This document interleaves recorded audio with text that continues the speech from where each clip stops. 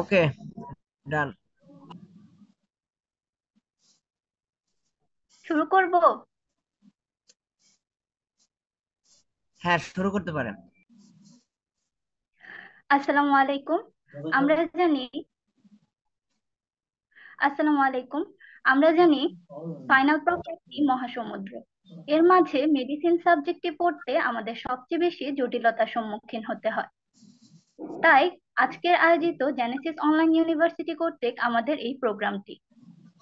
আমার আপনাদের সাথে যুক্ত আছি আমি Tanima Hossain Toma from East West medical college এবং আমার সাথে অতিথি হিসেবে যুক্ত আছেন ডক্টর খালিদ হাসান মিলু ভাইয়া from M Abdur Rahim medical college Dinajpur. আসসালামু আলাইকুম ভাইয়া কেমন আছেন আপনি? ওয়ালাইকুম আসসালাম রহমতুল্লাহ আমি ভালো আছি। তুমি ভালো আছো? জি ভাইয়া আলহামদুলিল্লাহ ভালো আছি। ভাইয়া, আমরা জানতে চাচ্ছিলাম যে আপনি যখন ফার্স্ট আপনার ফাইনাল প্রফের রেজাল্টটা হাতে পেলেন, তখন আপনার অনুভূতি কেমন ছিল? আসলে এই অনুভূতিটা সবচাইতে একটা অন্যরকম অনুভূতি হ্যাঁ? তো এই অনুভূতিটা তোমরা সবচাইতে ভালো করে বুঝতে পারবা যখন আসলে তোমরা ফাইনাল প্রফের রেজাল্ট হাতে পাবা হ্যাঁ? তো রেজাল্ট পাওয়ার সাথে সাথেই তোমার নামের আগে একটা মানে খুবই মর্যাদাপূর্ণ একটা ডিগ্রি ডাক্তার যুক্ত হয়ে যাবে হ্যাঁ? মানে রেজাল্ট পাওয়ার আগে তুমি একরকম ছিলা সাথে সাথে তুমি ডাক্তার হয়ে গেছো। মানে একটা মানে বিশাল একটা পার্থক্য। হ্যাঁ তোমার চলাফেরা তোমার হাবভাব সব রকম একটা পার্থক্য চলে আসবে। সো রেজাল্ট পাওয়ার পরে অনুভূতিটা খুবই ভালো ছিল আলহামদুলিল্লাহ। এটা আসলে বলে ভাষায় ব্যক্ত করার মতো না। এবং আমার ক্ষেত্রে আমি যেহেতু রাজশাহী মেডিকেল ইউনিভার্সিটির আন্ডারে ছিলাম তো আমাদের ক্ষেত্রে আমাদের তোমার নর্মালি প্রথম যেটা ই হয় যে নর্মালি হচ্ছে প্রথমে রেজাল্ট দেয়। তো রেজাল্ট দেওয়ার পরে আবার হচ্ছে মার্ক দিয়ে পজিশন দেয়। তো প্রথম রেজাল্ট পেলাম, খুবই ভালো লাগল এবং মানে অনেক শুক্রিয়া আল্লাহর হ্যাঁ? তারপরে যখন রেজাল্টের বেশ এক দুই মাস পরে যখন মার্ক দিল এবং মার্কে যখন দেখতে পেলাম যে ফার্স্ট হয়েছি হ্যাঁ? তো তখন মনে করো অনুভূতিটা আরও ভালো ছিল এবং প্রথমে অনুভূতিটা অনেক ভালো ছিল। এটা আসলে বলে ভাষায় ব্যক্ত করার মতো না। অনুভূতি খুবই ভালো ছিল, তোমাদেরও ভালো হবে ইনশাল্লাহ ইনশাল্লাহ ভাইয়া। আপনাকে অনেক ধন্যবাদ আপনার মূল্যবান অনুভূতি আমাদের সাথে শেয়ার করার জন্য। এবার আমরা আপনার কাছ থেকে একটু মেডিসিনের আদ্যপান্ত সম্পর্কে জানতে চাচ্ছিলাম। যে মেডিসিনে যেহেতু আমরা আজকের প্রোগ্রামটি নতুনদের জন্য ফিফথ ইয়ারে যারা নতুন আছে তাদের জন্য আয়োজন করেছি, তাই আমরা জানতে চাচ্ছিলাম যে মেডিসিন কয়টা পার্ট থাকে বা কীভাবে মার্ক ডিস্ট্রিবিউশন হয়, এ সম্পর্কে যদি আমাদের একটু বলতেন। আচ্ছা মেডিসিন হচ্ছে একটা মানে জাদুর মতো একটা সাবজেক্ট হ্যাঁ? আমরা ছোটবেলা থেকে একদম ফার্স্ট ইয়ার থেকে শুরু করে ফাইনাল প্রফ পর্যন্ত মানে এই সাবজেক্টের সাথে সবচাইতে বেশি ওরিয়েন্টেড থাকি এবং এই সাবজেক্ট সম্পর্কেই আমরা বেশি জানি হ্যাঁ? এবং এই সাবজেক্টটাই আসলে সারা জীবন চলার পথে আমাদের কাজে লাগে এবং আমরা এমবিবিএস পাশ করার পর ইন্টার্নশিপ করার সময়ও দেখতেছি মেডিসিনের ভূমিকা কত বেশি আর আসলে কত ব্যাপক, হুম? তো মেডিসিনের আসলে মানে মেডিসিনের আদ্যপান্তর বলতে আসলে মেডিসিনে কি কি থাকে পরীক্ষায়? হ্যাঁ ওইভাবেই যদি আমরা অ্যাপ্রোচ করি, তাহলে মনে হয় যে মেডিসিন সম্পর্কে আমরা জানতে পারব। মেডিসিন আসলে পাঁচশো মার্কের একটা পরীক্ষা হয়। পাঁচশো মার্কের এই পরীক্ষার ভিতরে পাঁচশো মার্কের যে পরীক্ষা, এর ভিতরে তিনটা অংশ থাকে। রিটেন থাকে তারপরে প্র্যাকটিক্যাল মানে ওসপি এক্সামিনেশন থাকে, এরপরে ক্লিনিক্যাল বা ভাইবা অংশ হ্যাঁ এই তিনটা অংশ থাকে। তো রিটেনে দুইশো মার্ক দুইশো মার্ক সম্পর্কে বলার আর কিছু নাই। দুইটা পেপার ফার্স্ট পেপার এবং সেকেন্ড পেপার দুইটা পেপারে সত্তর মার্ক হচ্ছে রিটেনের বিশ মার্ক এমসিকিউ আর দশ মার্ক হচ্ছে ফর্মেটিভ অ্যাসেসমেন্ট এভাবে দুইটা পেপার মিলাই টোটাল দুইশো মার্ক তো এইটাই হচ্ছে আমাদের রিটেনের অংশ গেল। রিটেনের অংশের পরে যদি আমরা একটু দেখার চেষ্টা করি, সেটা হচ্ছে যে ভাইবা। তাহলে ভাইবা টোটাল তিনশো মার্ক এই তিনশো মার্কের ভিতরে আবার ভাগ আছে হ্যাঁ? যে ওসপি যে অংশটা ওসপি অংশটা হচ্ছে পঞ্চাশ মার্কের এবং এইখানকার ওসপির সাথে অন্যান্য ওসপির একটা পার্থক্য কি? যে নর্মালি আমাদের ওসপি এর আগে অন্য পরীক্ষাগুলোতে কি হতো? অন্য পরীক্ষাগুলোতে জাস্ট পরীক্ষার আগে হয়ে যেত, তারপরে পরীক্ষা হইতো। কিন্তু এখানে ওসপি টোটালি একটা আলাদা এক্সামিনেশন হ্যাঁ? এবং আমরা রিটেন যেভাবে আলাদা এক্সামিনেশন দিই, ভাইবা যেরকম আলাদা দিনে দিই, ওসপিও একদম আলাদা দিনে হবে। এবং সবচাইতে মজার ব্যাপার হচ্ছে যে ওসপিতে আমরা সবচাইতে কম গুরুত্ব দিই, কিন্তু ওসপিতে সবচাইতে ভালো মার্ক পাওয়া সম্ভব। হ্যাঁ এটা একটা গুরুত্বপূর্ণ বিষয়। তো ফাইনাল প্রফে ওসপি খুবই গুরুত্বপূর্ণ এবং ওসপিকে এখানে একদম রিটেন এবং ভাইবার মতো আলাদা ভ্যালু দিয়ে আগাইতে হবে। আচ্ছা এরপরে আমাদের হচ্ছে যে ভাইবার অংশ থাকে, তাহলে আমাদের রিটেন দুইশো মার্ক গেল ওসপি আমাদের রাজশাহী মেডিকেল ইউনিভার্সিটির আন্ডারে পঞ্চাশ মার্কের ছিল হ্যাঁ? তাহলে তোমার হচ্ছে আড়াইশো মার্ক গেল। আর বাদ বাকি আড়াইশো মার্ক মানে একটা বড় মার্ক জুড়েই আমাদের ভাইবা এই ভাইবার ভিতরে আবার হচ্ছে ওরাল পার্ট আছে ক্লিনিক্যাল পার্ট আছে। ওরাল পার্টে দেড়শো মার্ক ক্লিনিক্যাল পার্টে একশো মার্ক হ্যাঁ? ওরাল পার্টের ভিতরে আমাদের দুইটা বোর্ড থাকে, বড় বড় বোর্ড ওয়ান বোর্ড টু হ্যাঁ? এছাড়া পেডিয়াট্রিক্স এর একটা বোর্ড থাকে ওইখানে পেডিয়াট্রিক্স প্লাস ইনস্ট্রুমেন্ট থাকে কিছু, আর একটা স্কিন ভিডির বোর্ড থাকে। মানে খুব সহজ করে যদি, আসলে এটা এত কঠিন এবং কমপ্লিকেটেড একটা মানে মেডিসিনের পরীক্ষা হ্যাঁ? আমার নিজের ক্ষেত্রে যেটা হতো যে, পরীক্ষা দেওয়ার আগ পর্যন্ত আমি জানতামই না কোন বোর্ডে কোনটা হয়, কোন বোর্ডে কত মার্ক থাকে। আমার মনে হয় না এটা জানার কোনো গুরুত্বই আছে। তোমার বিষয় হচ্ছে তুমি সবই পড়বা, দেখবে অটোমেটিক্যালি সব হয়ে যাচ্ছে। হ্যাঁ আমি জানতাম না যে বোর্ড ওয়ানে এইটা এটা থাকে বোর্ড টু তে এইটা এটা থাকে। ও এইটা এত কমপ্লিকেটেড জিনিস জানার আমি কোনো প্রয়োজন বোধ করি না। তারপরে যদি যারা জানতে চাও, এটা হচ্ছে আসলে চারটা বোর্ড থাকে। মানে বড় বড় ভাইবারই বোর্ড থাকবে চারটা। হ্যাঁ চারটা। এখন মেডিসিন কি রকম মেডিসিন হচ্ছে যে আমাদের মেডিসিন আমাদের আঠারো বছরের আগে বাচ্চাদের মেডিসিন আঠারো বছরের পরে বড়দের মেডিসিন তাই না? তাহলে আঠারো বছরের আগে পেডিয়াট্রিক্স যেহেতু পেডিয়াট্রিক্স পপুলেশন কম, আর বড়দের পপুলেশন অনেক বেশি তাহলে এই যে পেডিয়াট্রিক্স নিয়ে বোর্ড থাকে একটা, আর অ্যাডাল্ট মেডিসিন হ্যাঁ যেটাকে আমরা বলি ইন্টারনাল মেডিসিন এই ইন্টারনাল মেডিসিন নিয়ে বোর্ড থাকে দুইটা। তিনটা বোর্ড হইল, আরেকটা হচ্ছে আমাদের ওই ইন্টারনাল মেডিসিনেরই যে স্কিন ভিডিও অথবা সাইকিয়াট্রি হ্যাঁ সাইকিয়াট্রি এর দুইটার একটা নিয়ে একটা থাকে। তাহলে টোটাল চারটা বোর্ড থাকে। আর এটাই হচ্ছে আমাদের ভাইবার গেল। আর এই চারটা বোর্ডের পাশাপাশি আমাদের ক্লিনিক্যাল পরীক্ষা হয়। মানে ফাইনাল ইয়ার তো মোটামুটি একটা ক্লিনিক্যাল মেডিসিন আমাদের ক্লিনিক্যাল একটা জাজমেন্ট থাকে যে একটা পেশেন্ট দিবে, দেওয়ার পরে কিছু এক্সামিনেশন ফাইন্ডিংস জিজ্ঞেস করবে। তার মানে শর্ট কেস তাহলে শর্ট কেস একটা পার্ট আর আরেকটা হচ্ছে লং কেস একটা পার্ট হ্যাঁ? যে একটা পেশেন্ট দিবে, ওই পেশেন্টের একদম শুরু থেকে কীভাবে হিস্ট্রি নিয়ে এক্সামিনেশন করে প্রপার ওয়েতে ইনভেস্টিগেশন করে আমরা কীভাবে ট্রিটমেন্ট করতে পারি হ্যাঁ? টোটাল যে একটা প্রোফর্মা মানে মাস্টার অফ ডায়াগনোসিস এই লং কেস লং কেস নিয়ে একটা পার্ট থাকে। তো এই যে ভাইবাটা টোটাল দেড়শো মার্কের আর এই যে শর্টকেস লংকেস মিলায়ে পঞ্চাশ পঞ্চাশ করে একশো মার্কের টোটাল আড়াইশো মার্ক হলো ওসপিতে পঞ্চাশ, তিনশো আর রিটেনে দুইশো। হচ্ছে টোটাল পাঁচশো মার্ক খুবই কমপ্লিকেটেড আমার মনে হয় না মনে রাখার কিছু আছে। জাস্ট পড়ে যেতে হবে, এটাই হচ্ছে কথা। ভাইয়া মেডিসিন তো পুরো সাবজেক্টটাই হচ্ছে অনেক বেশি গুরুত্বপূর্ণ। কিন্তু তারপরও যেহেতু মেডিসিনের আলাদা আলাদা সেগমেন্ট রয়েছে, তো এখানে কোন সেগমেন্টটা কীভাবে গুরুত্ব দিয়ে পড়তে হবে বা কোনটা বেশি গুরুত্ব দিয়ে পড়তে হবে এ সম্পর্কে যদি একটু জানাতেন। আচ্ছা মেডিসিন আসলে হ্যাঁ মেডিসিন খুবই ভাস্ট একটা সাবজেক্ট এবং আমরা জানি যে মেডিসিনের ভাস্টনেস এত বেশি যে আমাদের সবকিছু ব্রাঞ্চ হয়ে যাচ্ছে হ্যাঁ? যেমন আমাদের হচ্ছে cardiology respiratory medicine neurology nephrology gastroenterology endocrinology এবং বর্তমানে শুধু তো এইরকম মানে ডিভিশনই না, এইরকম এই ছোট ছোট ডিভিশনগুলোর ভিতরেও আবার ভাগ হয়ে যাচ্ছে। যেমন জেনারেল কার্ডিওলজি ইন্টারভেনশনাল কার্ডিওলজি হ্যাঁ? এরকম সব ভাগ হয়ে যাচ্ছে। এন্ডোক্রাইনোলজির ভিতরে অনেক অনেক ভাগ চলে আসতেছে হ্যাঁ? অর্থাৎ খুবই ভাস্ট একটা সাবজেক্ট তাহলে এই ভাস্ট একটা সাবজেক্টকে আসলে আমার আমরা ফাইনাল প্রফে মোটামুটি খুব কম একটা সময় পাই। এক বছর এক বছর দুই মাস মতো সময় পাই হ্যাঁ? এর ভিতরে আবার অনেক ছুটি টুটি থাকে। তাহলে এই কম সময়ের ভিতরে আসলে এত ভাস্ট একটা সাবজেক্টকে আয়ত্তে নিতে হলে একটু আমার মনে হয় যে একটু স্মার্টলি ওয়ার্ক করাটা হ্যাঁ? একটু স্মার্টলি ওয়ার্ক করলে আমার সহজ হয়ে যায় যে আসলে আমার ফাইনাল প্রফে কোনটা সবচাইতে বেশি গুরুত্বপূর্ণ? এগুলো জেনে যদি একটু আগানো যায়, এটা সবচাইতে ভালো হয়। তো এক্ষেত্রে যেটা হতে পারে সেটা হচ্ছে যে ফাইনাল প্রফে যতগুলা অনেকগুলা যে অনেকগুলা বললাম, এই যে রিউমাটোলজি এন্ডোক্রাইনোলজি এইরকম যে অনেকগুলার কথা বললাম, এই অনেকগুলার ভিতরে আমরা যদি খেয়াল করি যে আমাদের চারটা যে বোর্ড থাকতেছে, এই বোর্ডের একটা তো পেডিয়াট্রিক্স এর বোর্ড গেল, ওইটা গেল, ওইটা বাদ দিলাম আমরা। ইন্টারনাল মেডিসিনের যে বড় বড় দুইটা বোর্ড এই দুইটা বোর্ডে কি থাকে? একটা বোর্ড শুরু হয় ইসিজি দিয়ে আরেকটা বোর্ড শুরু হয় চেস্ট এক্সরে দিয়ে। তো আমরা তো জানি যে ইসিজি দিয়ে আমরা মেইনলি মোটামুটি এই কথা, এইরকম একটা কথা বলা হয় যে হার্টের এমন কোনো রোগ নাই যে একটা ইসিজি দেখে আইডিয়া করা যায় না অ্যাটলিস্ট হ্যাঁ তাহলে ইসিজি কত গুরুত্বপূর্ণ একটা বিষয়। তো তাহলে ইসিজি থেকে আমাদের কোথায় চলে যায় কার্ডিওলজি মানে কার্ডিওভাস্কুলার সিস্টেমে আর আমাদের যে রেসপিরেটরি তোমার হচ্ছে আমাদের যে চেস্ট এক্সরে এই চেস্ট এক্সরে থেকে তো অনেক ফাইন্ডিংস আছে। একটা কনসোলিডেশন থাকতে পারে। ধরো আমি একটা কনসোলিডেশন নিয়ে বললাম বা নিউমোথোরাক্স নিয়ে বললাম। ধরো একটা কনসোলিডেশন হয়েছে কনসোলিডেশনের ডিফারেন্সিয়ালস তো অনেকগুলো। নিউমোনিয়া হতে পারে হ্যাঁ? পালমোনারি টিবি হতে পারে ব্রঙ্কোজেনিক কার্সিনোমা হতে পারে। তো এই রকম থেকে একটা থেকে একটা চলে যাবে। অর্থাৎ চেস্ট এক্সরে থেকে তোমার রেসপিরেটরি মেডিসিনে চলে যাবে।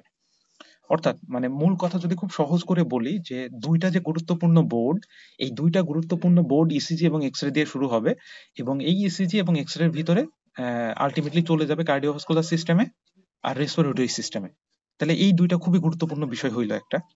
আরেকটা বিষয় হচ্ছে যে আমাদের যে লং কেস লং কেসে মোস্ট অফ দা ক্ষেত্রে এই রেসপিরেটরি সিস্টেম থেকেই হ্যাঁ যেমন আমার নিজেরই কমিউনিটি অ্যাকোয়ার্ড নিউমোনিয়া পড়ছিল লং কেস হ্যাঁ অর্থাৎ রেসপিরেটরি সিস্টেম থেকেই কভার হয়ে যায়।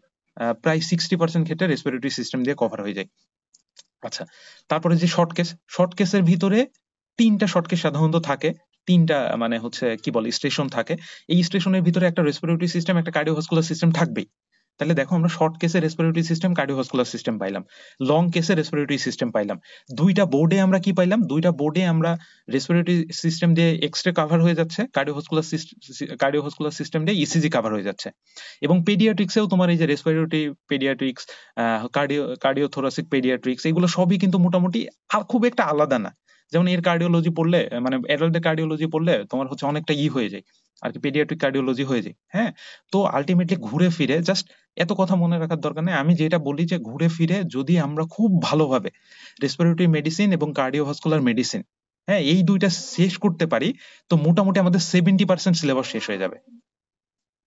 হ্যাঁ তাহলে অনেক কিছু আছে। হ্যাঁ আমাদের রিউম্যাটোলজি লাগবে গ্যাস্ট্রোইন্টারোলজি লাগবে নিউরোলজি নেফ্রোলজি হ্যাঁ এন্ডোক্রাইনোলজি মেটাবলিজম সব লাগবে। আমরা সবই পড়ব।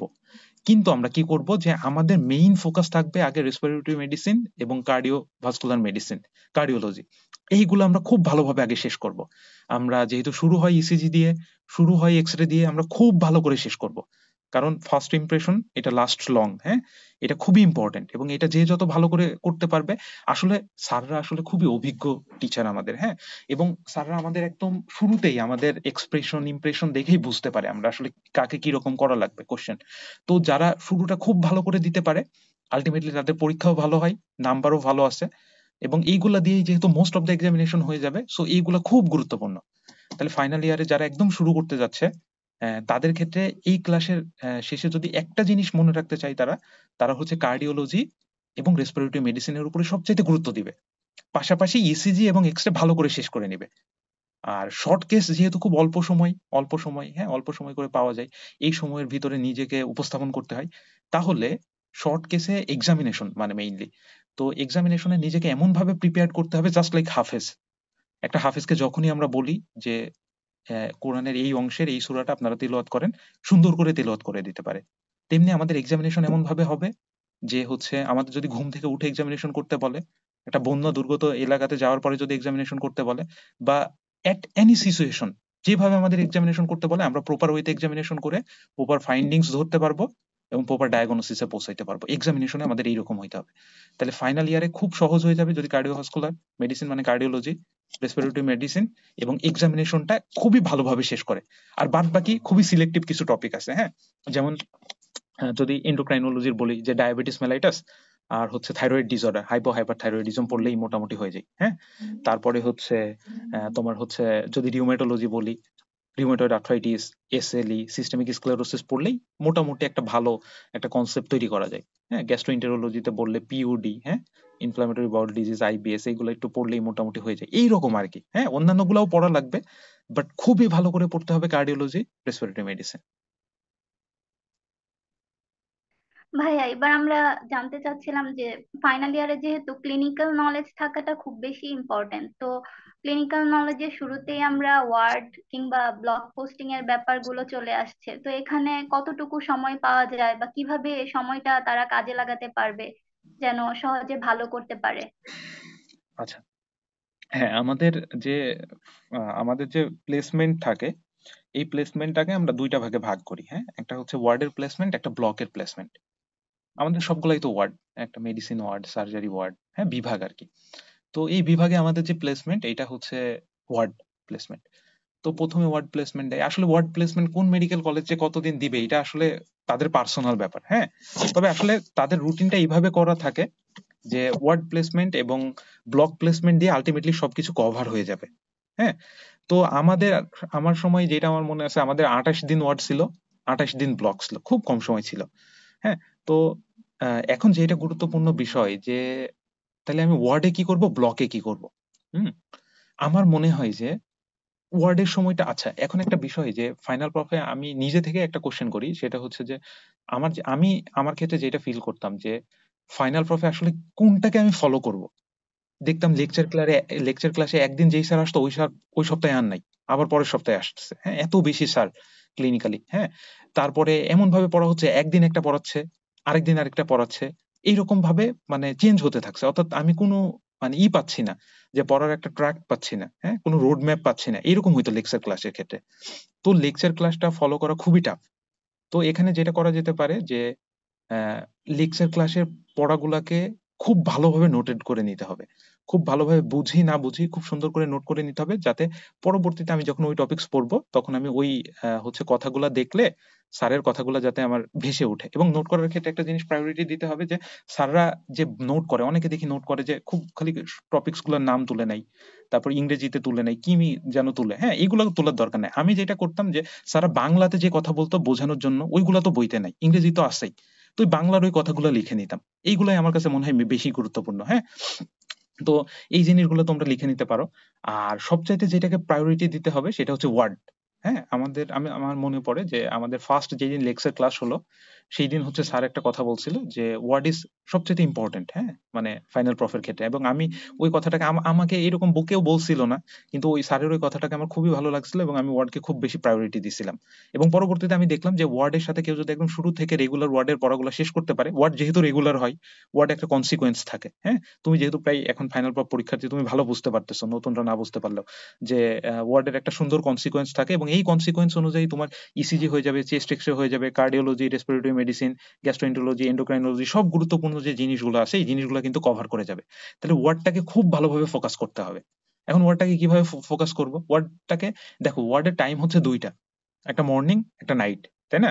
তো নাইটে যেটা হয় নাইটের টাইমটা কিন্তু আনলিমিটেড যেমন তোমার ওয়ার্ড যদি ছয়টা থেকে আটটা পর্যন্ত হয়, তোমাকে কেউ কেউ বলবে দশটার আগে চলে আসলে তোমাকে কেউ কেউ বকা দিবে দিবে না। তুমি ইচ্ছা মতো অনেক সময় পর্যন্ত থাকতে পারবা। তাহলে তোমার যেহেতু সময়টা লিমিটেড কোথায়? দিনের বেলা, দশটা থেকে বারোটা, তাই না? বিভিন্ন মেডিকেল কলেজে বিভিন্ন রকম হয় আর কি তো এই যে দশটা থেকে বারোটা, এই সময়টা তুমি খুবই গুরুত্ব দিয়ে ওয়ার্ড করবা, সাধ্যের কথা শুনবা। পেশেন্ট এই সময় দেখার জন্য খুব বেশি বাড়াবাড়ি করার দরকার নেই। যেটা করতে হবে সেটা হচ্ছে যে সন্ধ্যার সময় যে সময়টা, এই সময়টা কিন্তু একটা অনেক সময়। এবং তুমি যেহেতু একবার ওয়ার্ডে গেছো ক্লাস হয়ে যাবে ক্লাস হওয়ার পরে তুমি তোমার ইচ্ছা মতো পেশেন্ট দেখবা, ইচ্ছা মতো পেশেন্ট দেখবা। এবং কি করবা? বেড সাইড পড়াশোনা হ্যাঁ? তুমি দরকার হলে বই নিয়ে চলে যাবা মেডিসিনে দেখছ যে ওখানে দেখবা যে একটা আমাদের যে মনে করো এটা একটা ট্রিটমেন্ট শিট এই ট্রিটমেন্ট শিটের এই সাইডে একটা ত্রিভুজ দিয়ে একটা ডায়াগনোসিস লেখা থাকে। এবং ওই ডায়াগনোসিস অনুযায়ী তুমি বইয়ের একটা অংশ ডেভিডসন থেকে বের করে পড়লা গাইড থেকে বের করে পড়লা হ্যাঁ? শর্ট কেস এবিএম আব্দুল্লাহ স্যারের বই থেকে বের করে পড়লা, যেখান থেকে ইচ্ছা বের বের করে পড়বা। Patient oriented learning this is very much important হ্যাঁ? অর্থাৎ পেশেন্ট দেখে তুমি যেটা পড়বা, ওইটা তোমার যেই রকম লাস্ট করবে ব্রেনে এটা কিন্তু নর্মালি ইতে লাস্টিং করবে না হ্যাঁ? বই পড়ে লাস্টিং করবে না। তাহলে তুমি একটা রিউমেটয়েড আর্থ্রাইটিস এর পেশেন্ট দেখো, ওর ক্লিনিক্যাল ফিচারগুলো ওখানে পড়ে ফেলো হ্যাঁ? তুমি একটা পিউডির পেশেন্ট দেখছ পিউডির পেশেন্টকে ট্রিপল থেরাপি দেওয়া হয়েছে ট্রিটমেন্ট শীতে ওইটা তুমি কোরিলেট করে ওর চিকিৎসাটা তুমি দেখে নাও। এগুলো কখনো ভুল হবে না। এবং ঘুরে ফিরে ওয়ার্ডে যে কেসগুলা হ্যাঁ এই যে পিউডির পেশেন্ট একটা ডায়াবেটিস এর পেশেন্ট একটা থাইরয়েড হাইপো এর পেশেন্ট হ্যাঁ তোমার মনে করো ব্লিডিং পিউডি বলো, তোমার সেপটিক আর্থ্রাইটিস বলো আর এসএলই যে গুরুত্বপূর্ণ যে রোগগুলা, এই গুরুত্বপূর্ণ রোগগুলা থেকেই তোমার ফাইনাল প্রফিট রিটার্ন হবে। এবং ফাইনাল প্রফিট রিটার্ন কিন্তু একদম ক্লিনিক্যাল বেসড ক্লিনিক্যাল বেসড হ্যাঁ?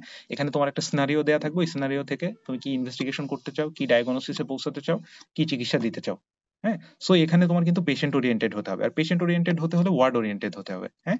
মোস্ট অফ দ্য সময় যতটুকু পারা যায় ওয়ার্ডে থাকবা। একটা, সবসময় একটা কথা মনে রাখবে patient is an open book তোমার বইও নিয়ে যাওয়া লাগবে না। একটা পেশেন্ট বই। এবং সবসময় যদি পেশেন্টকে এইভাবে একটা বই হিসেবে ট্রিট করা যায়, বইকে আমরা যত গুরুত্বপূর্ণ গুরুত্বপূর্ণ ভাবে দেখি, ওভাবে যদি পেশেন্টকে দেখতে চাই, তাহলে পেশেন্ট কিন্তু খুব মানে হচ্ছে খুশি হবে। একটা পেশেন্ট থেকে কিন্তু তোমার চাইতে বেশি কেউ শিখতে পারবে না।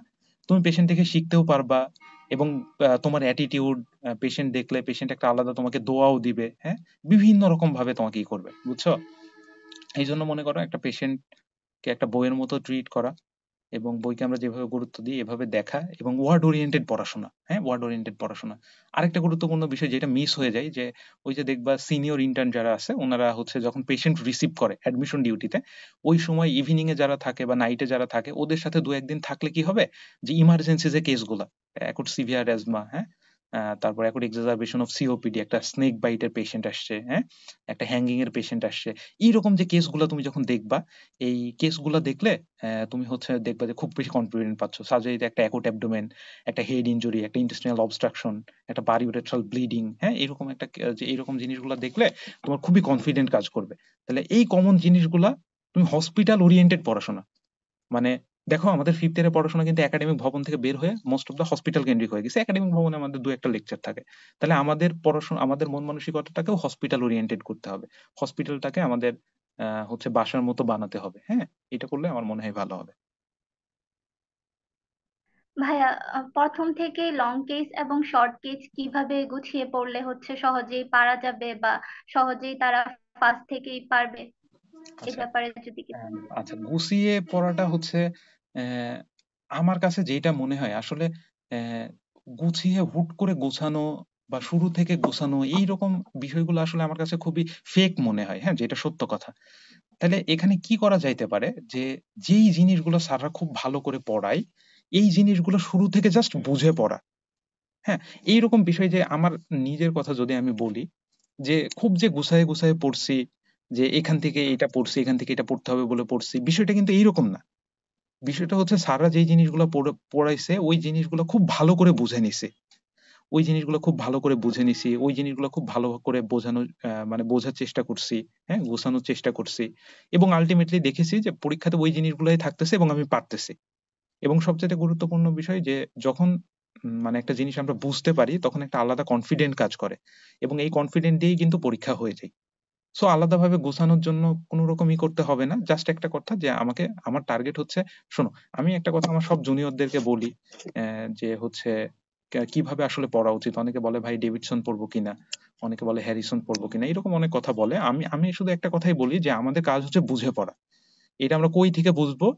যেখান থেকে পারি, সেখান থেকে আমরা বুঝে পড়ব। এটা যদি ওয়ার্ডের একটা মামা থেকে বুঝি, মামা থেকে বুঝব হ্যাঁ? ওর, ওয়ার্ডের একটা সিনিয়র ভাই, সিনিয়র কোনো স্যারের থেকে বুঝব, হবে। আমরা এটা ডেভিডসন থেকে বুঝতে পারি, হ্যারিসন থেকে বুঝতে পারি হ্যাঁ?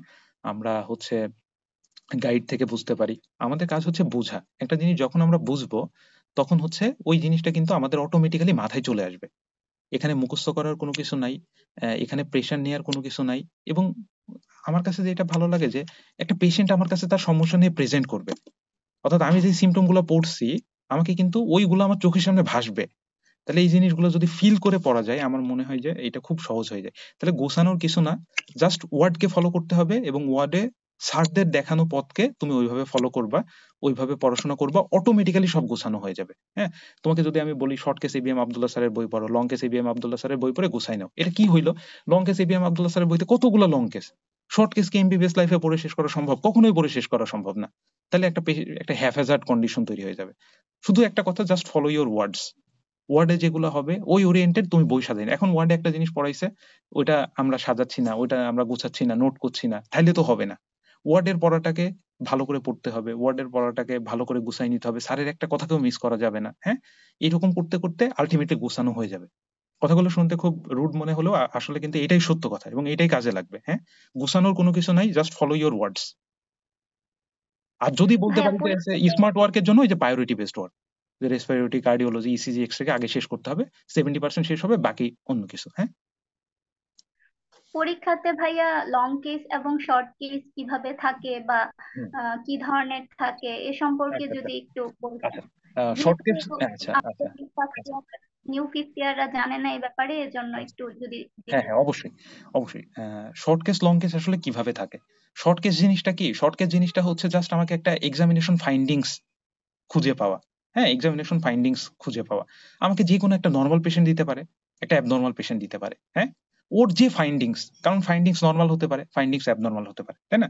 তাহলে যে কোনো একটা পেশেন্ট দেয়া হবে, ওর যে কোনো একটা পার্ট আমাকে এক্সামিনেশন করতে দিতে পারে, পুরো সিস্টেম এক্সামিনেশন করতে দিতে পারে। যেহেতু সময় খুব কম থাকে, আমাদের যে কোনো একটা সিস্টেমের যে কোনো একটা ছোট্ট পার্ট এক্সামিনেশন করতে দেয়। যেমন আমি যদি আমার শর্ট কেসের কথা বলি, আমি প্রথমে আমার যেটা যাই, ওটা কার্ডিওলো কার্ডিওলজির ই ছিল, তো আমাকে প্রথমে অসকালটেশন করতে বলল হ্যাঁ? তো এইরকম আর কি, যে যে কোনো একটা দিয়ে শুরু হবে। তো তোমার হচ্ছে, এইটা হচ্ছে কি? শর্ট কেসটা শর্টলি একটা ডায়াগনোসিসে পৌঁছানোর জন্য যে এক্সামিনেশন এটা। তো আমাকে কার্ডিওলজি ওখান থেকে ধরার পরে ওইখান থেকে heart sound added sound added sound থেকে মারমারে চলে গেল। মারমার থেকে তারপরে হচ্ছে মারমার থেকে যে বিভিন্ন কোশ্চেন ওইগুলা ধরা শুরু হলো। তো এইরকম ভাবে আর কি মানে হচ্ছে ভাইবাটা শুরু হয়। তারপরে আমাকে হচ্ছে তারপরে আমাকে হচ্ছে থাইরয়েড গ্ল্যান্ড এক্সামিনেশন করতে দিল পরের স্টেশনে ওইখান থেকে থাইরয়েড গ্ল্যান্ড রিলেটেড সার্জারি এইগুলো মেডিসিন থেকে সার্জারিতে চলে যায়। আসলে ভাইবা কীরকম হবে এটা বলা যায় না হ্যাঁ? তারপরে আরেকটাতে আমাকে হচ্ছে জার্ক এক্সামিনেশন করতে দিল। ওই জার্ক থেকে জার্ক এক্সামিনেশন করতে দিল রেসপিরেটরি সিস্টেম অস্কাল্ট করতে দিল হ্যাঁ? ওইখান থেকে তোমার হচ্ছে বিভিন্ন মোটর নিউরন ডিসঅর্ডার এই এইগুলাতে চলে গেল। আসলে বিষয়টা হচ্ছে যে শর্ট কেস আসলে একটা ছোট অংশ এক্সামিনেশন করতে দিবে। ওই যে বিষয়টা কি বললাম যে আগে থেকে তুমি যদি বুঝে পড়ো, এটার জন্য আলাদাভাবে কোনো প্রিপারেশন কোনো কিছু নেওয়া লাগবে না। ওই রেসিডুয়াল নলেজ দিয়ে তুমি পেরে যাবে। এটা হচ্ছে ফাইনাল ইয়ারের মজা। আর লং কেস লং কেস তো হচ্ছে একটা পুরো একটা রোগ তোমাকে দিয়ে দিবে। মানে একটা আননোন পেশেন্ট তোমাকে দিয়ে দিবে। ওই পেশেন্টের কি রোগ হ্যাঁ? তুমি হিস্ট্রি নিবা এক্সামিনেশন করবা ইনভেস্টিগেশন মানে একটা প্রো মানে ইনভেস্টিগেশন তো ওখানে করা যায় না। একটা হচ্ছে প্রবেবল ডায়াগনোসিসে পৌঁছাবা। তারপরে তুমি কি কি ইনভেস্টিগেশন করতে চাও হ্যাঁ? তারপর কনফার্মেটরি ডায়াগনোসিসে পৌঁছাবা কি চিকিৎসা দিতে পারবা কি চিকিৎসা দিবা কতদিন পরে ফলো আপ দিবা হ্যাঁ? এই টোটাল যে বিষয়টা এই টোটাল বিষয়টা হচ্ছে আসলে লং কেস এবং তোমার কোশ্চেনটা কি ছিল যেন? শর্ট কেস লং কেসের কীভাবে পরীক্ষাটা হয় বা কি কি আচ্ছা আচ্ছা পার্ট থাকে হ্যাঁ? কীভাবে পরীক্ষাটা হয়? পরীক্ষাটা হচ্ছে যে আমাদের যখন মেডিসিনে আমরা যখন রুমে যাই পরীক্ষা যখন আমাদের শুরু হয় রিটেন শেষ হয়ে গেছে আগে। ওসপি শেষ হয়ে গেছে। আমাদের তাহলে ভাইবা এবার, ভাইবা বাকি আছে। তো ভাইবাতে আমরা যাওয়ার পরেই আমাদের প্রথমে হচ্ছে তোমার লটারি করে। লটারি করার পরে সবাইকে একটা করে লং কেস দিয়ে দেয়। লং কেস দিয়ে দিয়ে পেশেন্টের কাছে চলে যাইতে হয়। চলে যাওয়ার পরে আমাদের সবার হচ্ছে লং কেস শুরু হয়। লং কেস শুরু হওয়ার পরে যেটা হয়, সেটা হচ্ছে যে লং কেস শুরু হলো। লং কেস শুরু হওয়ার পরে লং কেসের ভিতরেই আমাদের হচ্ছে তোমার শর্ট কেস শুরু হয়। তো লং কেসের ভিতরেই এই তিনজন তিনজনকে করে ডাকে, যেহেতু তিনটা বোর্ড থাকে। ডেকে এইভাবে রোটেশনে ঘুরতে থাকে, এই তিনজন বের হয়, আবার তিনজন আসে। ওরা গিয়ে আবার লং কেস লিখে। এই লং কেস তো তোমার এর ভিতরে লিখতে লিখতে লিখতে লিখতে হঠাৎ করে বোর্ডে ডাকে। হঠাৎ করে আরেকটা বোর্ডে ডাকে। হঠাৎ করে পেডিয়াট্রিক্সে ডাকে। আসলে যেটা খুব সত্য কথা বলতে হ্যাঁ যে এটা সে যত ভালো স্টুডেন্টই হোক বা যত খারাপ স্টুডেন্টই হোক ফাইনাল প্রফটা একটা খুবই মানে খুবই একটা খুব কঠিন মানে একটা চ্যালেঞ্জের মতো হ্যাঁ একটা রেসের মতো।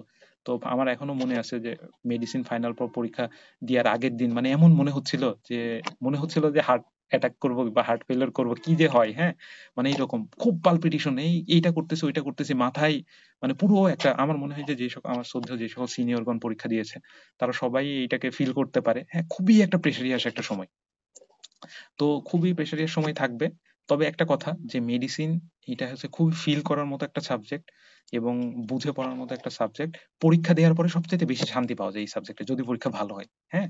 তাহলে এইটা একটা গুরুত্বপূর্ণ যে খুবই একটা হ্যাফেজার্ড অনেকগুলা বোর্ড অনেক একবার শর্ট কেস হবে, একবার বোর্ডই চারটা আবার লং কেস হবে। এর ভিতরে কোনটার ভিতরে পরীক্ষা এক বোর্ড থেকে আরেক বোর্ডে না যাইতেই চলে যাবে। তুমি লিখতেছো, হঠাৎ করে তোমাকে ডেকে একটা বোর্ডে ঢুকাই দিবে হ্যাঁ? এরকম হবে হ্যাঁ?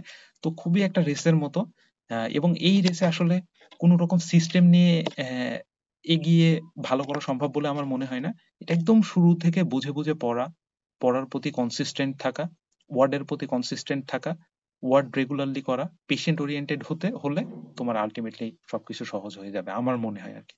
পার্সোনাল ওপিনিয়ন ভাইবা, ভাইবার জন্য ভাইয়া কীভাবে প্রিপারেশন নিয়েছিলেন আপনি বা কীভাবে শুরু করেছিলেন? আচ্ছা পড়াশোনা জন্য হচ্ছে মানে আমি যেটা বলতেছি যে আমার আলাদা কোনো প্রিপারেশন ছিল না হ্যাঁ? শর্ট কেস লং কেস বা ভাইবা কোনো কিছুর জন্য আলাদা কোনো প্রিপারেশন ছিল না।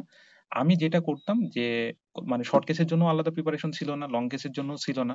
আলাদা ভাবে যে এগুলা খুব বেশি পড়ছি এমনও না। গাইডও আমার গাইড এখনও একদম নতুন হ্যাঁ? মানে গাইডের ভিতরে খুব একটা পড়ছি এরকমও না হ্যাঁ?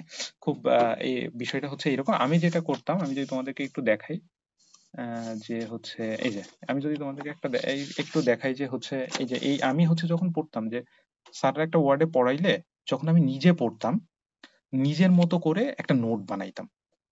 এই নোটটা কি হতো? এই নোটটা হচ্ছে একটা কম্বাইন্ড নোট হতো। এই নোটটা আমি মোটামুটি সেকেন্ড ইয়ার থেকেই বানানো শুরু করি। হ্যাঁ? তো এই যে এইটা যেমন আমার একটা নোট এটা হচ্ছে ব্রঙ্কিয়াল অ্যাজমা হ্যাঁ ব্রঙ্কিয়াল অ্যাজমার নোট তো এক্ষেত্রে কি হতো যে স্যার যখন ব্রঙ্কিয়াল অ্যাজমা পড়াইতো, তখন আমি কি করতাম, আমার নোটের যেই অংশটা, ওই যে drugs use in bronchial asthma আমি ফার্মাকোলজিতে পড়েছিলাম, ওই ফার্মাকোলজির নোটের অংশটা আমি কেটে নিতাম। কেটে নেওয়ার পরে আমি কি করতাম যে ব্রঙ্কিয়াল অ্যাজমা আমরা একটু ব্রঙ্কিয়াল অ্যাজমার আমরা প্যাথোফিজিওলজি প্যাথোলজিতে পড়ছি প্যাথোলজির অংশ আমরা কেটে নিতাম। দেখো, আমার এখানেও কিন্তু ওইরকমই আছে যে প্রথমে মেকানিজম অফ ব্রঙ্কিয়াল অ্যাজমা তারপর drugs use in bronchial asthma এগুলো নিয়ে আমি তাহলে কি করতাম? আমি প্রথমে যে ব্রঙ্কিয়াল অ্যাজমা নিয়ে আমি ওই শুরুতে যখন পড়ছি, অর্থাৎ আমি ব্রঙ্কিয়াল অ্যাজমা নিয়ে প্রথম পড়ছি যে এর আগে তো আস্তে আস্তে পড়ছি থার্ড ইয়ারে কিন্তু ডিটেলস পড়ছি ফোর্থ ইয়ারে হ্যাঁ? তো ফোর্থ ইয়ারের ওই পড়াগুলো আগে পড়ে নিতাম। ফোর্থ ইয়ারের ওই পড়াগুলো আগে পড়ে নেওয়ার পরে, তারপরে আমি কি করতাম যে এবার হচ্ছে ফাইনাল ইয়ারে ফাইনাল ইয়ারের কি কি আসতেছে? তো ফোর্থ ইয়ারের ওই পড়াগুলো যখন পড়ে নিতাম সবচেয়ে গুরুত্বপূর্ণ একটা বিষয় যে ফোর্থ ইয়ার যাদের ভালো করে পড়া থাকে ফাইনাল ইয়ারটা তাদের অনেক সহজ হয়ে যায়।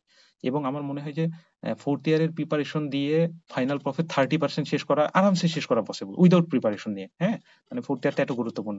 তো ওই যে আগে মানে ব্যাকগ্রাউন্ডটা যদি ভালো মানে যেহেতু আমি ওইগুলো দিয়ে শুরু করতাম, আমার তখন একটা আলাদা কনফিডেন্স চলে আসতো। তারপরে স্যাররা যেভাবে পড়াইতো, ওইভাবে নোট করতাম হ্যাঁ? তারপরে একদিন এ বি এম আবদুল্লাহ স্যারের লং কেস বই বা শহীদুল্লাহ শহীদ স্যারের লং কেস বই বের করতাম এ বি এম আবদুল্লাহ স্যারের শর্ট কেস বই বের করতাম, আমার আরও অনেকগুলো শর্ট কেসের বই আছে, বই বের করতাম, বই বের করে পড়তাম। পড়ার পরে আমি যখনই যেই বইটা পড়ি, আমি একটা জিনিস খেয়াল করে রাখতাম যে একটা বই কিন্তু বারবার পড়ার সুযোগ নেই। এবং আমি ফোর্থ ইয়ারে যেটা পড়ছি ওটা যদি আমার গুছানো না থাকে ফোর্থ ইয়ারে যার গুছানো থাকবে না, তার কিন্তু আর ওই ফোর্থ ইয়ারে ওই পড়াটা পড়ানো হবে না। তাহলে আমি কি করতাম? আমি যখনই পড়তাম, যতটুকুই পড়তাম, ততটুকুই আমি লিখে ফেলতাম। মানে আমার এখনও মনে পড়ে যে আমি একটা জিনিস পড়েছি, ওই জিনিসটা আমি লিখে রাখিনি, এরকম কখনো হয়নি। তো ওইভাবে আমি লিখে রাখতাম। তো তাহলে কি হতো যে ব্রঙ্কিয়াল অ্যাজমা আমি ফোর্থ ইয়ারে পড়ছি ব্রঙ্কিয়াল অ্যাজমা আমি ফাইনাল ইয়ারে পড়তেছি ফাইনাল ইয়ারে এক স্যার পড়াইছে লেকচারে আর এক স্যার পড়াইছে ওয়ার্ডে হ্যাঁ? আমি নিজের মতো করে পড়ছি, একবার শর্ট কেসের বই থেকে পড়ছি লং কেসের বই থেকে পড়ছি। তাহলে এই যে আমার একটা ব্রঙ্কিয়াল অ্যাজমা মোটামুটি এক, দুই, তিন, চার, পাঁচ, ছয়, সাত, আট, এখানে মোটামুটি আট পেজের একটা শীট আছে হ্যাঁ? তো মোটামুটি এর ভিতরে bronchial asthma regarding short case long case viva সবকিছুই আছে। এবং আমি পরীক্ষার আগে জাস্ট এটা দেখে যাইতাম। এটা দেখে গিয়ে আমি শর্ট কেসে পারফর্ম করতাম লং কেসে পারফর্ম করতাম ভাইবাতে পরীক্ষা দিতাম। মানে আমার ক্ষেত্রে বিষয়টা ছিল এইরকম। আর যদি এরকম ভাবে যদি গুছানো না থাকে, তাহলে সেক্ষেত্রে যারা একদম ফিফথ ইয়ারে নতুন করে শুরু করতে চাও, তারা তো অবশ্যই তোমার হচ্ছে চেষ্টা করবা যে short case long case short case long case আলাদা কিছু না তো। তোমাকে একটা চেস্ট অক্সকালটেশন করতে দিবে, তুমি ওখানে রঙ্কাই পাচ্ছ।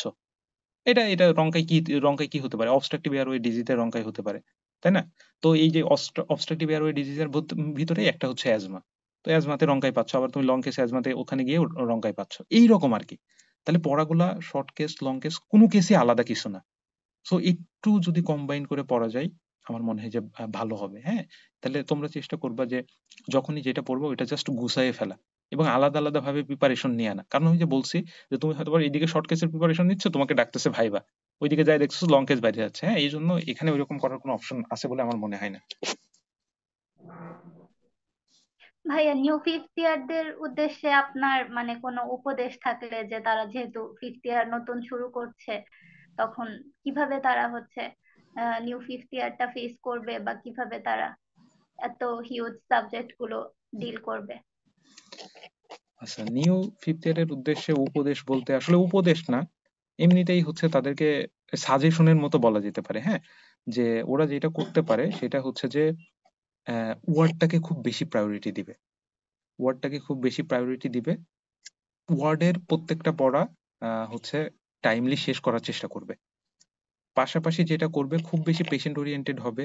এবং ওয়ার্ডে ম্যাক্সিমাম সময় দেওয়ার চেষ্টা করবে এবং পেশেন্ট দেখে দেখে পড়বে। পেশেন্ট ওরিয়েন্টেড লার্নিং করার চেষ্টা করবে। আর আমি কি বললাম যে, পড়াটা যাতে ইউজলেস পড়া না হয়। তুমি একটা জিনিস খেয়াল করে দেখবা যে, আমরা ফার্স্ট টাইম যখন পড়ি, ওই জিনিসটা আমাদের খুব সুন্দর বোঝা যায়, তাই না? তারপরে আমার ভাইবার আগে পড়তে গেলে মনে হয় যে, আমি কত কিছু পড়ছিলাম, এখন তার মনে পড়তেছে না। তাহলে ওই যে ফার্স্ট টাইম যখন যে লার্নিংটা হবে, ওই ফার্স্ট টাইম লার্নিংটা তোমরা নোট করে নিবা, যাতে তোমার ওইটা দেখলেই তোমার ওইটা মাথায় গেঁথে যায়। তাহলে মানে পড়াশোনাটা এরকম হবে, তুমি অল্প পড়বা বাট যখনই পড়বা হান্ড্রেড পার্সেন্ট আউটপুট হ্যাঁ? তো এরকম করতে করতে সবসময় নোট করতে করতে করতে করতে দেখবা যে ওইটা খুবই মানে অর্গানাইজড একটা মানে তোমার সম্পদে পরিণত হবে। এবং আমি যদি তোমাদের জাস্ট একটু দেখাই হ্যাঁ যে যেটি নোট কীরকম হতে পারে হ্যাঁ? জাস্ট একটু দেখাই যে এতগুলা যে দেখ- দেখতেছো, এই টোটালটা আমার হচ্ছে শুধু মেডিসিনেরই নোট হ্যাঁ? এটা আমার নিজের নোট তুমি দেখো যে ডেভিডসন বইয়ের বইয়ের যে এরকম পেজ মানে বই যেরকম মোটা আমার নোট কিন্তু নিজের নোট এরকম মোটা হয়ে গেছে হ্যাঁ? এটা হচ্ছে মেডিসিনের নোট, বুঝছ? তো এইরকম ভাবে করতে হবে এবং তোমরা হচ্ছে এরকম নোট করলে দেখবা যে তখন তোমার কি হচ্ছে, আমি পরীক্ষার আগে আমি না পড়তাম ইন্ডেভার না পড়তাম মূল বুক আমি আমার মতো শর্ট কেস লং আলাদা কোনো বই পড়তাম না, আমি আমার মতো এটা দেখে চলে যাইতাম। এবং খুব কনফিডেন্ট থাকতাম কেন জানি? তো এইগুলা তোমাদের কাজে দিতে পারে, আমি জানি না কেউ কারা কারা এইভাবে পড়ো বাট আমার মনে হয় এটা খুবই ইফেক্টিভ একটা ওয়ে হইতে পারে তোমাদের জন্য।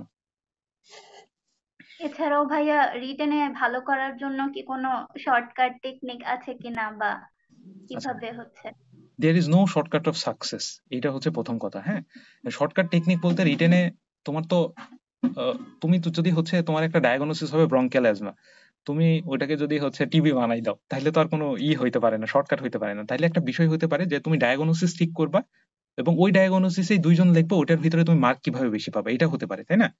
তাহলে এটা হতে পারলে রিটেনে লেখার একটা নিয়ম আছে হ্যাঁ?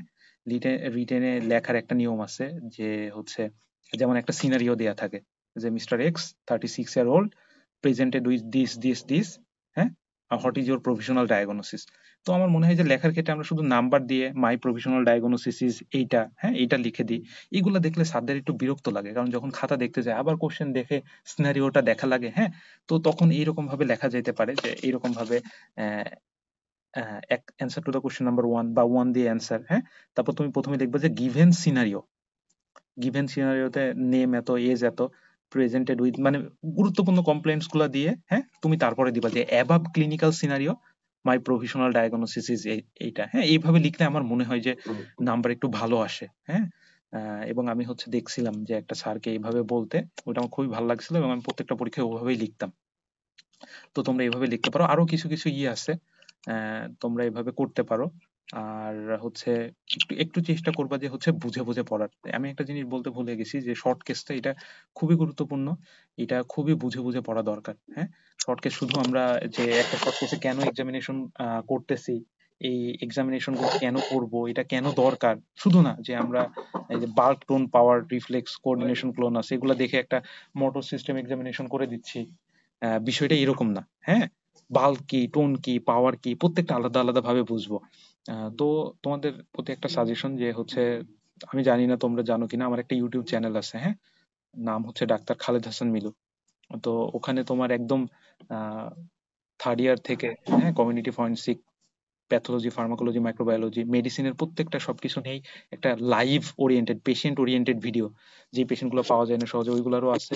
খুব কমন কেসগুলোরও আছে এবং এক্সাম বিশেষ করে এক্সামিনেশনের যে অংশটা এই এক্সামিনেশনের একদম ডিটেইলড এক্সামিনেশন আমি চেষ্টা করতাম আসলে যে এক্সামিনেশন করার আগে মানে যেহেতু একটা ভিডিও বানাচ্ছি একটা খুবই বেসিক ওরিয়েন্টেড এবং আমি দেখতাম যে আমি ফাইনাল ইয়ারে কোনগুলোতে আমার প্রবলেম হচ্ছে কেন আমি বুঝতে পারছি না। এই জিনিসগুলোকে সলভ করে নর্মালি শুধুমাত্র এক্সামিনেশন দেখানো হয়। আমি খেয়াল করে দেখলাম যে সবগুলোতে তো এক্সামিনেশন আছেই তাহলে হোয়াট শুড বি ডিফারেন্ট তো আমি তখন ভাবলাম যে এইগুলো যদি আমি এক্সপ্লেইন করি অর্থাৎ যেগুলো পড়লে পেশেন্ট মানে বই মানে বই পড়ার কাজটাও হয়ে যাচ্ছে। তো তোমরা যদি চাও, ডাক্তার খালেদ হাসান মিলু লিখে সার্চ দিয়ে ওই এক্সামিনেশনগুলা দেখতে পারো এবং লাইভ কেসগুলা দেখতে পারো। এগুলো খুবই বেনিফিশিয়াল হবে নো ডাউট হ্যাঁ? আমি রেগুলার ভিডিও আপলোড করতেছি। আশা করি যে তোম- তোমরা উপকার পাবা। জি ভাইয়া, ধন্যবাদ। আমরা অবশ্যই আপনার চ্যানেলটি ঘুরে দেখব, ইনশাল্লাহ। এতক্ষণ আমাদের সাথে যুক্ত থাকার জন্য অনেক ধন্যবাদ আপনাকে এত ব্যস্ততার মাঝেও মূল্যবান সময় দিয়ে আমাদের সাথে থাকার জন্য। তোমাকে অনেক ধন্যবাদ আর আসন্ন ফাইনাল প্রফ এবং কিছুদিন পরে ডাক্তার হয়ে যাবা। সবকিছুর জন্য অনেক শুভকামনা এবং অনেক দোয়া রইল। ধন্যবাদ ভাইয়া।